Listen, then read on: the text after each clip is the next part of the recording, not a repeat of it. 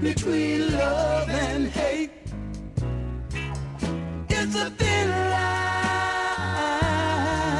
between love and hate. It's five o'clock in the morning. I'm just getting in. I knock on the door. A voice sweet and low.